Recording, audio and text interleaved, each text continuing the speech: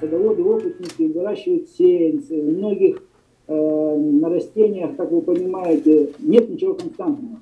То есть э, большое количество в садах сейчас есть, так начальник называл, спортивные уклонения или почковые мутации, mm-hmm. которые, э, значит, э, если в последующем проверить, что это не химера, а именно спорт, это практически готовый новый сорт. И таких новых сортов, новых спортов в каждом регионе много. Но, как вы понимаете, если мы сейчас их не найдем, не сохраним и не поделимся на другом, эта веточка, это спортивное уклонение, оно через определенный промежуток времени, согласно э, законов природы, состарится, отомрет и исчезнет. А если мы с вами эти сейчас формы найдем, да, друг с другом поделимся, и, соответственно, у нас с вами вот этот, как мы будем говорить так, э, гибридный фон, он огромный, но он сейчас никак не работает на садоводах. А в связи с тем, Я что... прошу прощения, Тимур Марач пока не забыл, склерозник. А, вот вы, сказали о приобретении. У вас какой-то есть э, э, служба какая-то, которая занимается реализацией? Нет, значит, это не Никонорович, здесь смысл заключается в чем? Не только, да, конечно, желательно, чтобы это через нашу службу все шло, но это не обязательно. То есть, если мы... речь? Потому что мы, приобретая на рынках, мы не знаем, что мы приобретаем. Мы запрашиваем одно, нам подсовывают совершенно другое. Поэтому хотелось официально через науку получить стопроцентные гарантии того, что мы просим. Вот о чем речь.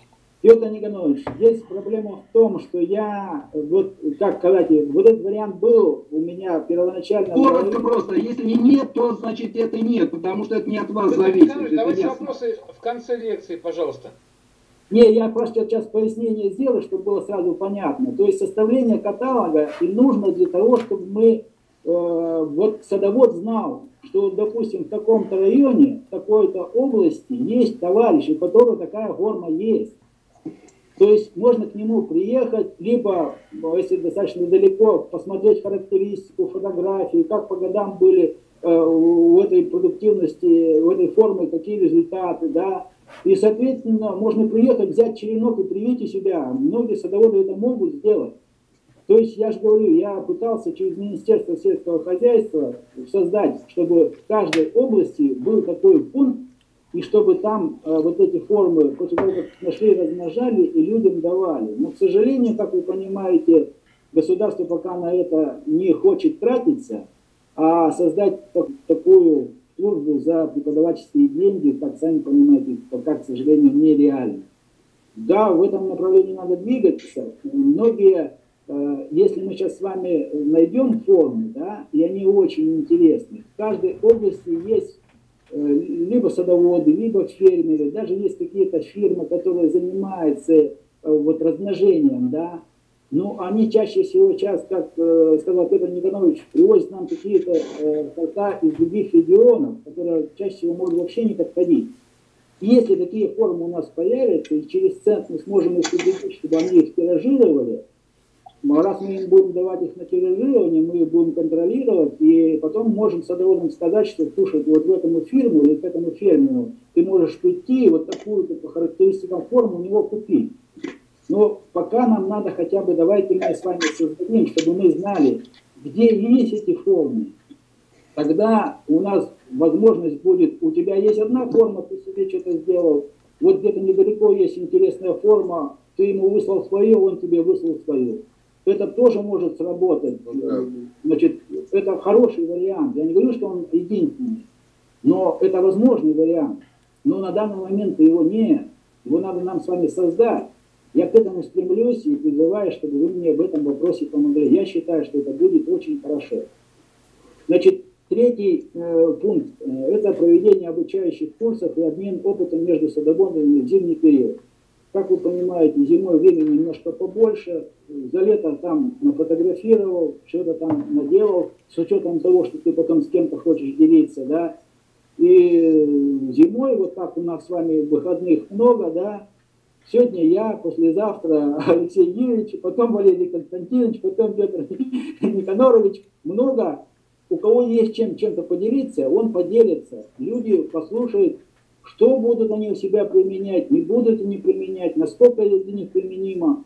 Но это будет очень полезно. По крайней мере, как сказал Петр Николаевич, это есть э, э, информация к размышлению для того, чтобы осмыслить и подойти к каким-то вопросам, может быть, немножко с другой стороны. Чем больше мнений, чем больше опыта, тем лучше результат. Ведь чем ценность опыта? Чем больше опыта, тем э, больше мы знаем тонкости и особенности проведения растений и результаты, которые будут от каких-то наших технологических действий.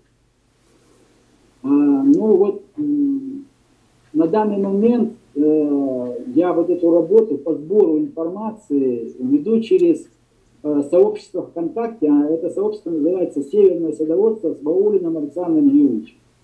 Поэтому, если у кого что-то, какая-то информация будет, у нас там тоже есть определенные интересные моменты выложены, можно посмотреть. Значит, э, ну и мы будем рады, если кто-то туда подсоединится, э, пригласит своих друзей, знакомых, и мы начнем работу по спасению утопающих. То есть у нас в России дело спасения утопающих, это дело рук самих утопающих. Я хочу его активировать, насколько это мне это получится, не знаю, но я стремлюсь. У меня все. Надеюсь, что э, я достаточно интересную информацию дал, э, пищу для мозгов, и поэтому сейчас готов ответить на ваши вопросы. Спасибо. Коллеги, спасибо огромное. Спасибо. спасибо. Алексей Юрьевич, пожалуйста, вы хотели задать вопросы, хотели дать слово Валерию Константиновичу? Нет, нет, нет, нет, я, я даю слово Валерию Константиновичу обязательно. Так, мне отвечать, да? Так, Не, ну вы хотели спросить что-то Александра Юрьевича? Да, да. Мы все там несколько, пока э, была беседа, я несколько вопросов записал. Вот понимаете как, для, я говорю для всех. Я не беседую с, с Александром Юрьевичем. Мы с ним старые друзья, старые знакомые. И, наверное, это, эта дружба наша, она помогла. Вот, и еще поможет. Знаете, какой интереснейший вопрос. Вот, э, Александр Юрьевич, когда вы мне спустя много-много лет дали второе задание, прислали официальную бумагу, я представляю институт, я был такой гордый, и когда я для вас собрал две посылки, одну со своих деревьев, а вторую с абаканских, у нас всего два центра, так? Там у вас было жесткое требование, вот мне это непонятно, жесточайшее требование. Валерий Константинович, косточки должны быть с корнесобственных деревьев с непривитых. Вы себя не ограничили таким путем, а? Вот вопрос, Нет, прямо в лоб. Здесь как, мы не ограничиваем. Потому что, э, чтобы вам было понятно, да, я э, на этом обросший очень сильно. Э, значит, э, я вырастил, то есть я собирал э, яблоки, груши, у соседей, в саду, на рынке, в магазине покупал, да. Вот я вырастил 17 тысяч сеянцев яблони. 17 тысяч. 17. Значит, и 17 тысяч только 6 форм имели размер в кулак. Но и эти формы были горькие и терпкие, их есть было невозможно. То есть 16 тысяч сеянцев с привитых растений, да, отличных вкусовых качеств и ноль выхлопа. То есть я это повторять опыт не хочу. Значит, э, вот э, здесь исключение какое можно сделать? То есть, э, вот я же говорил, у, вы же мне присылали, это у вас же были косточки сеянцев, у вас тогда еще практически не было. Это у вас были э, привитые с маньчжурского абрикоса, с вашего уникального абрикоса, который имел свои неплохие вкусовые качества. И вот когда у него были неплохие качества, да, у самого подвоя. Плюс туда что-то подмешалось хорошее, да, э, добавок. И там э, вы учитываете еще тот фактор, что у вас были подвойные формы, э, вы же на молодые сеянцы прививали манжурки, и вы прививали привой, который был уже из тех сортов, которые имели хорошие характеристики. За счет этого у вас э, по Мичурину происходило менторное воздействие. То есть э, подвой он мощный, но он молодой. И э, те формы, которые были хорошие, вкусовые, привои, они в большей степени сохранились. Ведь э, вот то, что мне прислали, я говорю, 30% косточек голова, они были привитые, но они дали же э, шикарный вкус. Но это же только тогда, когда хорошая подвойная форма. А ведь час абрикос-то прививает либо на сибирский абрикос, либо на бессеев. Соответственно, никакого вкуса там, который бы мог сдвинуть подвой в какую-то хорошую сторону, нет, а наоборот все происходит. Поэтому здесь надо э, желательно, мы же когда людям дадим такие косточки, да, то есть нам желательно знать, что мы их не подведем, что не вырастет дичок. Потому что, да, конечно, можно потом перепривить, это не такая же большая проблема, но э, ожидание человека, что у тебя будет вкусное и хорошее само, без прививки, либо когда ты, тебе надо прививать, это уже совсем другое. Поэтому э, я это говорю не из теории, я больше практик, чем теоретик. Я это делаю на основании своих собственных ошибок.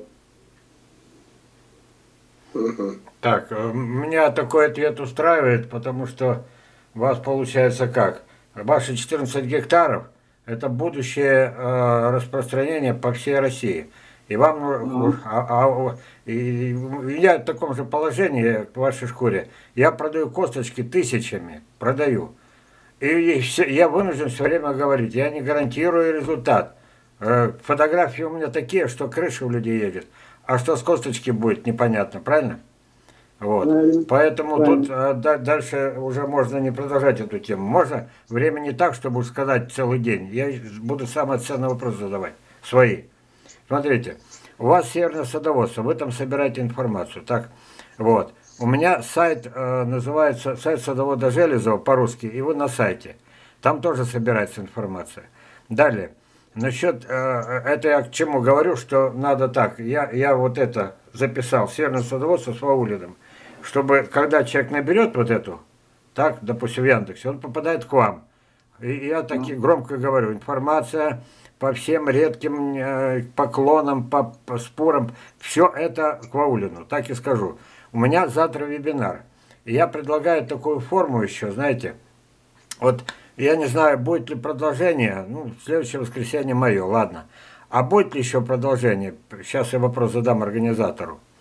Вот. Или это последняя видеоконференция в этом году? Валерий Константинович, у нас конференции проходят в настоящее время каждую неделю. Вот формат конференции тему мы определяем, и я думаю, коллеги меня поддержат. Мы с огромнейшим удовольствием еще раз, и я думаю, не раз пригласим Александра Юрьевича. Так, и тогда вот такое дело, мое предложение. Смотрите, я провожу завтра вебинар, так? Я на вебинаре должен, ваши, вы мне даете данные, я скажу, вот понедельник вебинар, а воскресенье, будьте добры, э, на, присоедин... а у меня же там хватает этих, как их называют, слушателей, я их все призову присоединиться к вашей конференции. Мне для этого нужны данные. От вас там, как это называется, там все эти пароли и прочее. Явки, пароли. Да, явки, пароли. Вот прошу вас э, это отдельно со мной связаться и выдать, чтобы я мог выдать людям э, готовым, чтобы они, мои слушатели, постоянные, у меня их много, присоединились к вам, раз. И второе, Значит, э, я хочу, чтобы вот сейчас, кто меня слышит, присоединились наоборот, чтобы получилось в сумме плюс на плюс. Присоединились к моему вебинару. Он у меня завтра, в понедельник, 16 часов. А информация, просто громко говорю, э, сайт Садовода Железова, гостевая книга и свежая информация. А там как присоединиться, как зарегистрироваться. У меня прибавится слушатели, и у вас прибавится слушатели. Вот такое организационное предложение. Владимир Константин, живем мы век интернета, я ваше предложение принимаю. Ага. И это, как, как еще уточнить, 16 16.00 это по какому времени? Это по Москве, но этого мало, надо зарегистрироваться. А у меня, вы просто набираете по-русски три слова в Яндексе. Сайт садовода Железова.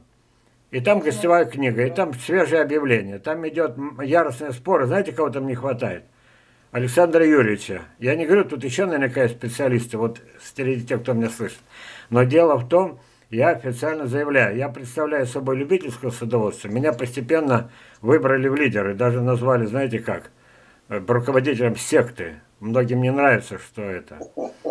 вот. так, так вот, да, и шаманом прибавку. Так вот, я к чему говорю? Значит, Александру Юрьевича не хватает моей гостевой, там такое творится. Иногда я уже да, да. Не, не, не суюсь, потому что с двух сторон прилетит. И главное, что все правы. Просто каждый видит в своем огороде, а другой в другом.